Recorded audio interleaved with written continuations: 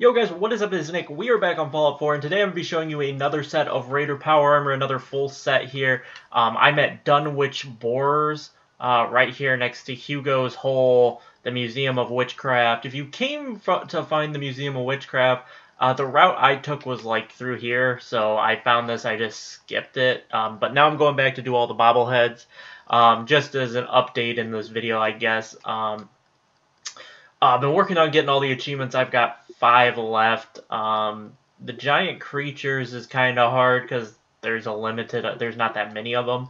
Uh, the 50 miscellaneous objectives is annoying, but there's some ways to get around, kind of the harder ways to get it. Uh, the benevolent leader is pretty hard. I might wait until they patch it because there are glitches with it. And then I got the two bobblehead achievements, which is what I'm doing right now. Um, but once I finish uh, most of those up or not, or if not all of them, I will be starting to do some like let's build on different um, on different uh, sites, I guess. Um, I tech I beat the game the three times, um, not three separate times, using the save method, but that's where Dunwich Borers is. I hope the stuff I showed helped you figure out where it was. Um, but here it is. You will kill this Raider veteran. There's just a bunch of Raiders.